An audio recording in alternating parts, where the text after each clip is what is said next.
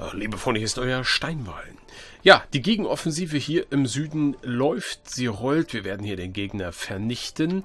Andere, ein bisschen anders sieht es hier oben aus. Da sind wir in der schwächeren Position und es ist gut möglich, dass Lufan fällt, das wir kürzlich erobert haben. So ein bisschen auch mit Blick auf die Jade, die hier ist. Naja, mal sehen. Ähm, das Problemchen ist allerdings, dass hier unser Fraktionsanführer dabei ist. Und wenn der stirbt, dann könnte es zu großen Problemen geben. Deswegen habe ich mir überlegt, wir werden hier nochmal die Haltung ändern in Richtung Fliehen. Im Falle eines Falles. Rückzug. Also das muss sein. Und dann noch was, da die Armee vermutlich sowieso, falls es zu einer Schlacht kommt, eh nicht eingreifen wird, werden wir sie hier mal so ein bisschen anders hinlenken. Und dann können sie zumindest diese Stammessperrkämpfe abfangen. So wäre der Plan. Und dann will ich noch ein bisschen unsere Ökonomie stärken. Und ich habe gesehen, dass in Nau ebenfalls noch gar kein Markt gebaut wurde. Und das ist gerade in dieser Stadt ja ebenso wichtig. Eine Stadt, die sowohl vom Land als auch vom Seehandel profitiert. Oder vom Flusshandel, muss man ja sagen.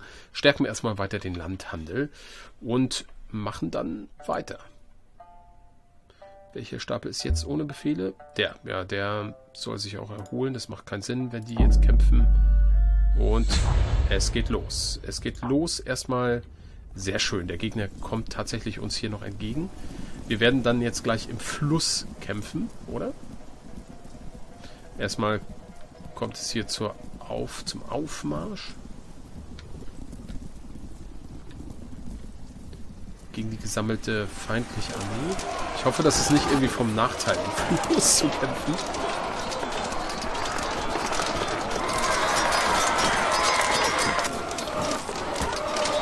Also wir sind zahlenmäßig extremst überlegen. Man sieht allerdings jetzt kaum was, wer hier wo agiert. Unsere Kavallerie kämpft. Ich weiß nicht, ob, ob sie richtig mitkämpft. Eigentlich hatten wir sie auf Flankieren gestellt. Das hat hier jetzt nicht so gut geklappt. Nun ja. Die ersten Einheiten fliehen. Jetzt kommt hier unsere Kavallerie zum Einsatz. Und jetzt gibt es hier diese problematische Schlacht. Dieser blöde Angriff. Wo wir uns an vier Positionen verteidigen müssen. Ah, und sogar das Abfangen hat nicht so richtig geklappt. Aber vielleicht können wir hier doch noch ein bisschen Ärger machen. Doch, tatsächlich. Wir kommen hier noch in den Angriff. Gehen wir kurz nochmal hier unten hin.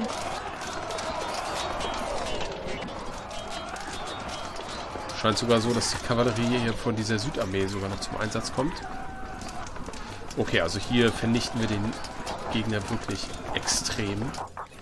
Während es hier nicht so einfach werden wird. Aber tatsächlich, wir konnten mit den äh, Streitwagen irgendwie offenbar diese Attacke auf die Stadt noch so ein bisschen abbremsen, ablenken. Hier unten sind die Streitwagen nämlich jetzt hier im Kampf. Und führen auch tatsächlich zur Flucht zumindest einer Einheit. Hier wird auch geflohen, das ist Erfolg sehr schön. Und die Frage ist, wie lange können wir hier standhalten und was ist mit unserem Anführer? Das ist die große Frage. So. Okay, da ziehen wir uns zurück. Aber insgesamt sieht es fast so aus, als ob wir die Stadt hier noch einmal halten können. Aber genügt das? Das ist die Frage. Genügt das? Und ob das klappt, ist auch noch nicht so ganz klar, weil hier wird noch gefochten und gekämpft. Okay, da flieht der Gegner. Das ist gut. Hier unten stehen wir zumindest noch bereit. Und auch diese Streitwagen sind tatsächlich noch komplett intakt. Oha, hier ist allerdings eine ganz kleine Truppe. Das ist der Anführer. Das ist die Anführergruppe, die hier noch verteidigt hat. Oh Mann, was für eine tapfere Verteidigung von Lufan. Aber wird es genügen? Hier gibt es noch einen Angriff. Oh mein Gott. Zwei Streitwagen gegen... Was machen die denn da jetzt? Ziehen die da jetzt ein? Kapiere das jetzt gerade nicht, was hier passiert. Okay. Also der Worst Case wäre jetzt, Lufan fällt, alle Einheiten sind tot und der Anführer auch. dann ist das Reich in einer maximalen Krise. Aber ich glaube, das ist nicht passiert. Ich glaube, das ist nicht passiert.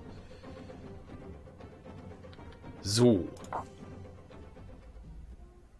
Okay, das war jetzt aber ein schwerer Schlag für den Gegner.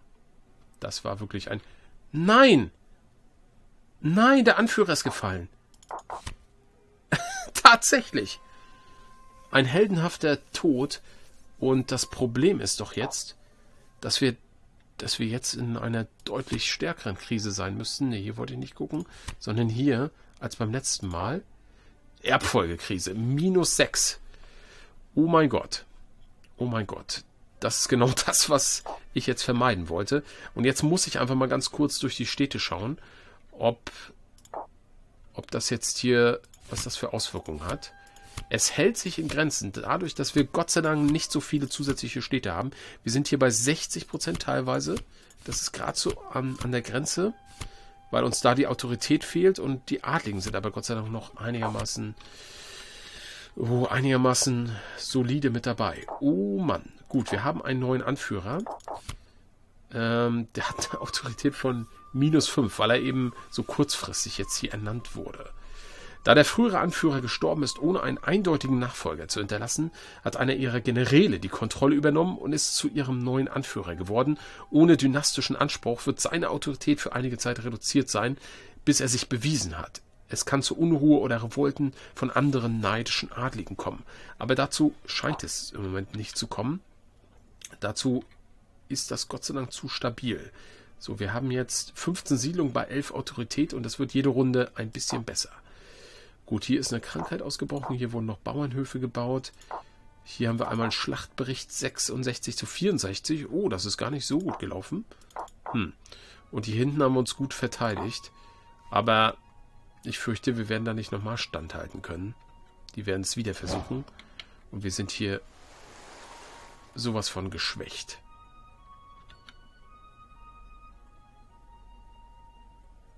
Schade, dass man die Stadt jetzt nicht im Nachhinein noch zerstören kann.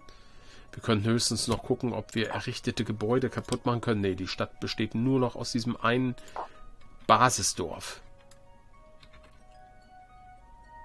Ich denke, es ist das Klügste, wenn wir uns dort zurückziehen und warten, bis hier unsere großen Armeen eingetroffen sind.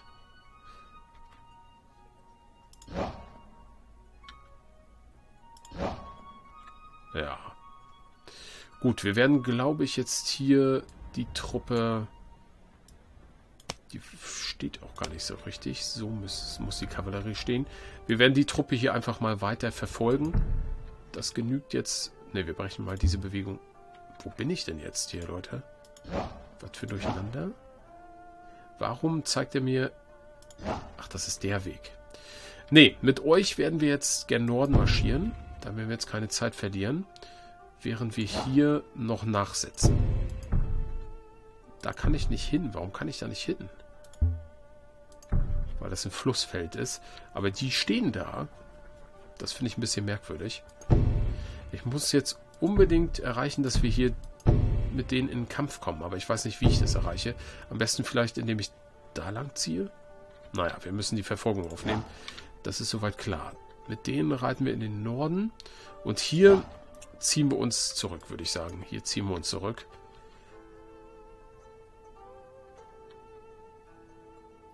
Kriegen wir das hin, bevor die uns erreichen? Das ist die große Frage.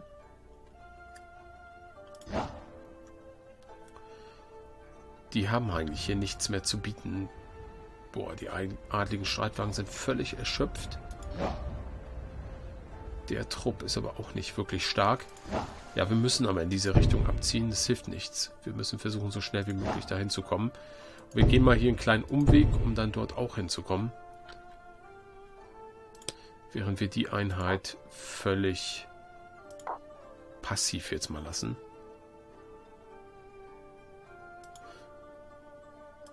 Ja, und hier höchstens das einstellen.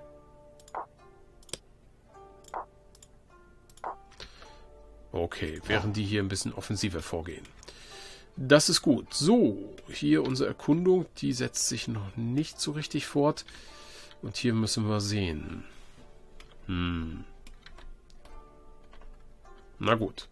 Okay, wir können ja hier noch die besten Einheiten auch noch mitziehen. Das ist völlig in Ordnung.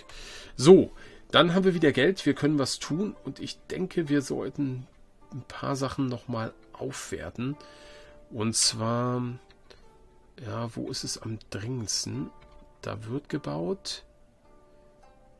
Ich glaube, Xing. Ja, hier sollten wir mal eine Aufwertung machen.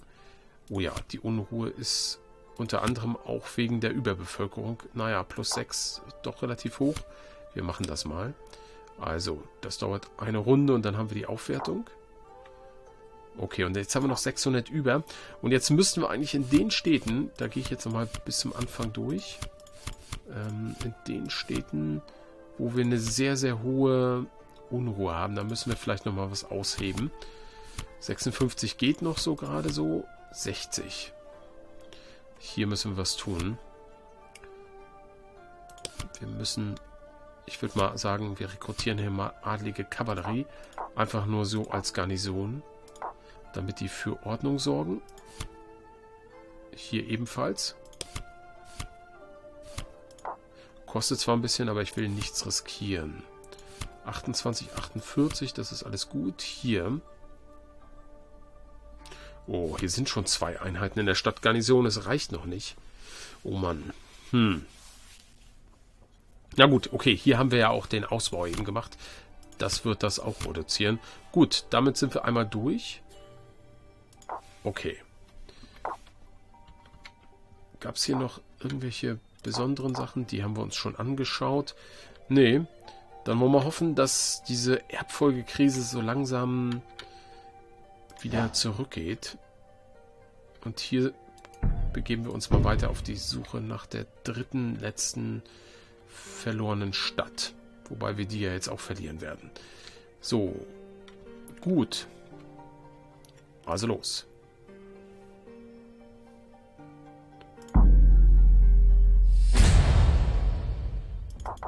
Gleich zwei Schlachten. Genau, wie erhofft, kommen sie auf unsere Flussseite. Hervorragend. Und was passiert hier noch? Ach so, da versuchen wir die zu erledigen. Die kommen uns da sogar entgegen. Ja, sehr schön. Und die marschieren jetzt in die Stadt ein, so wie geplant. Ich denke, war trotzdem eine richtige Entscheidung, das Ganze.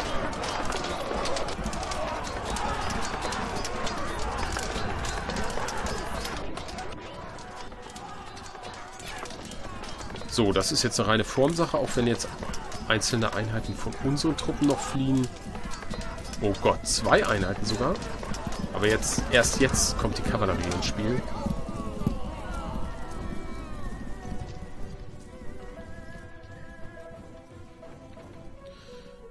Naja, wir werden die noch ein bisschen verfolgen und komplett vernichten. so eine Armee bei uns im Rückraum wollen wir natürlich nicht erlauben, das ist klar. So, der Rückzug scheint hier funktioniert zu haben. Und die Stadt haben wir verloren, aber immerhin nicht die Armee. Wenn auch den Anführer. So, okay. Wir haben Machtfortschritt, Militärtheorie. Ähm, wir können wieder einen Strategen ernennen während sich einige Gelehrte den Gesetzen der Natur oder dem Verstand des Menschen widmen, untersuchen andere erfolgreiche Praktiken von Militärkommandanten und schreiben Bücher über die Kunst des Kriegs. Jeder gute Kommandant sollte sich mit diesen Büchern vertraut machen. Das ist richtig. Wie machen wir weiter? Im Machtbereich. Bessere Mauern. Mehr können wir im Moment gar nicht machen. Oder bessere Belagerung. Wir werden mal den kauernden Tiger hier entwickeln. Neun Runden, das ist ja wirklich überschaubar. Wir gucken uns gleich mal den Erlass an. Ein Strategen ernennen. Unruhe unter Adligen 5 und 150 monatlich. Ja, müssen wir mal gucken, ob, ob wir das wollen und brauchen. Was haben wir hier? Krankheit. Die Effizienz der Armee ist um 20% verringert durch die Krankheit. Das ist natürlich ärgerlich. Das heißt, wir müssen hier eine weitere Ruhepause einlegen. Lufan haben wir verloren. Wir haben einen neuen Charakter hier. Okay, das ist ein neuer General. Ja, weil der andere General, der ist ja zum Anführer geworden. Dementsprechend bekommen wir einen neuen. was haben wir hier? Da der frühere Anführer gestorben ist, ohne einen eindeutigen Nachfolger zu lassen, Ja, wieso? Ist das jetzt nochmal ein neuer Mann? Uyong Chiang? Das wundert mich jetzt. Gibt es jetzt mehrere Fraktionsanführer? Wer, wer ist denn jetzt Fraktionsanführer oder geht das jetzt immer hin und her? Ach, schaut mal, der, der hier war, der ist jetzt plötzlich hierhin? Oder wie ist das zu verstehen? Auf jeden Fall haben wir da oben jetzt keinen General mehr in der Armee. Das ist natürlich richtig ärgerlich. Hm.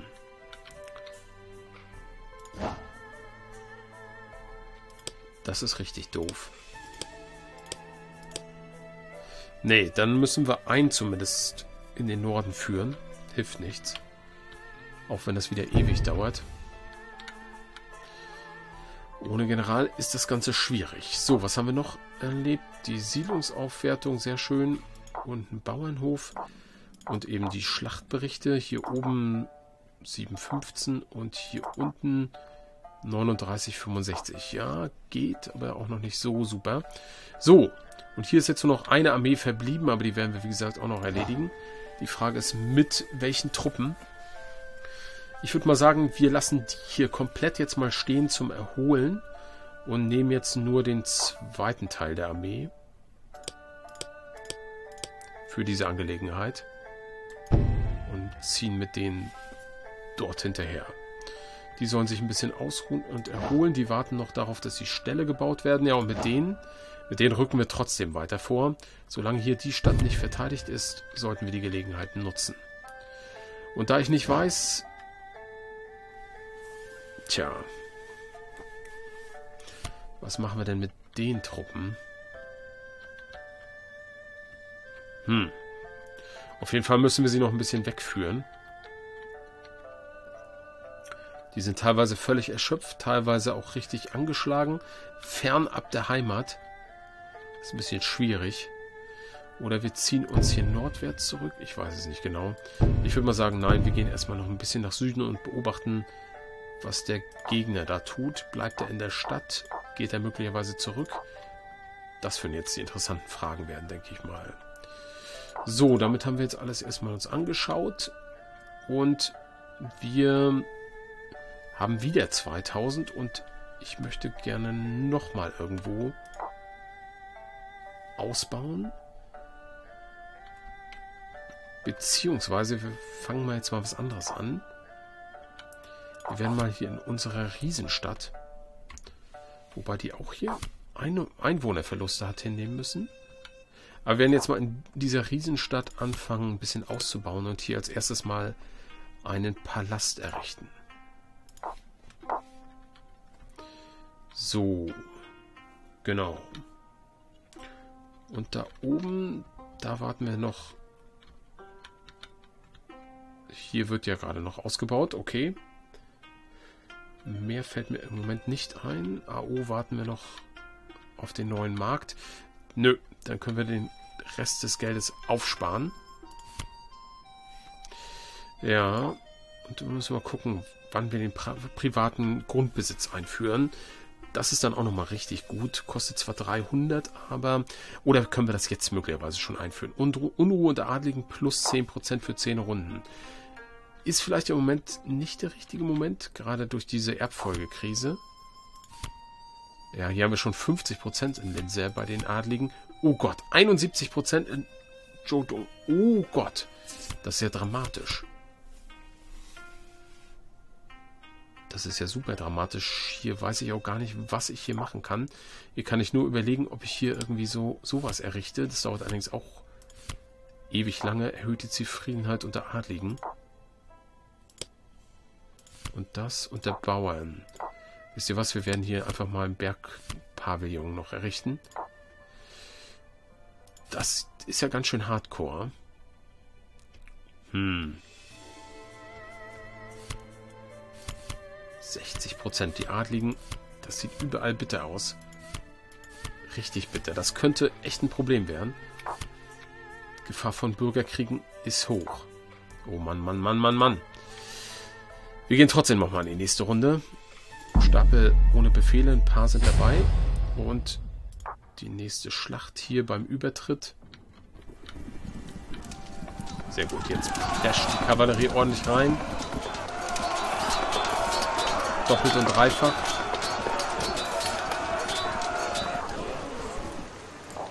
Ja.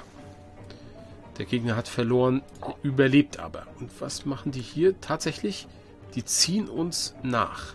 Wer hätte das gedacht? Die beiden Streitwagen. Aber das ist doch... Die so alleine, das ist doch relativ gefährlich für die, oder? So, jetzt ist die Frage, es gibt keine Rebellion. Das ist schon mal erfreulich. Und wie sieht die Gesamtlage aus? minus 5. Die Erbfolgekriege schwächt sich etwas ab. Aber in den Städten wird es vermutlich nicht großartig anders aussehen. 56, 62, 60. Ja, es ist jetzt gerade so an der Grenze. Ich denke, die schlimmste Situation, den schlimmsten Moment haben wir überstanden, einigermaßen glimpflich. Gut, dann können wir mit ganz einigermaßen ruhigem Gewissen an dieser Stelle Schluss machen. Ich sehe aber, eine weitere große Armee des Gegners hier aufmarschieren. Wieder mit den relativ schwachen Einheiten. Aber sie können halt extrem nerven, weil sie die Bereitschaft total reduzieren. So, hier müssen wir auf jeden Fall noch ein bisschen umdisponieren. Ich glaube, ich werde auch hier defensiv stehen bleiben. Und die Armee haben wir vernichtet. Sehr gut. Das heißt, wir können hier überlegen, wen nehmen wir wie mit. Aber ich denke, die sind hier alle so gut drauf, dass ich sie komplett mit in den Norden mitnehme. Die lassen wir nochmal erholen. Aber die werden wir schon jetzt umschwenken lassen. Was allerdings seine Zeit dauern wird. Nun gut, an dieser Stelle wie immer eine Pause. Bis zum nächsten Mal. Macht's gut, euer Steinball.